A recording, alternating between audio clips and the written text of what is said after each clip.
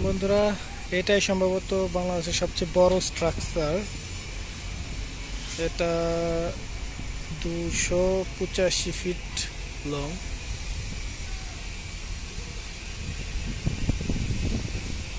আর এটা হলো রামপাল তাপবিদ্যুৎ কেন্দ্র। আন্ডার কনস্ট্রাকশন কাজ হচ্ছে।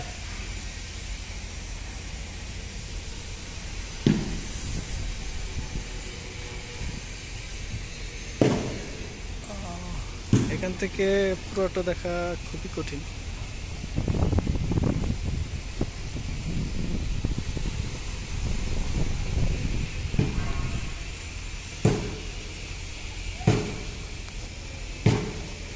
টোটালি একটা ইন্টারেস্টিং বিষয় হলো, এটা আসলে বাংলাদেশের ফার্স্ট ফার্স্ট একটা প্রজেক্ট যেখানে এত বড় একটা চিমনি হলো পাশে সুন্দরবন। এই জন্য চিমনিটা তৈরি করা। আর এটাই সম্ভবত বাংলাদেশের সবচেয়ে বড় স্ট্রাকচার দুশো পঁচাশি মিটার।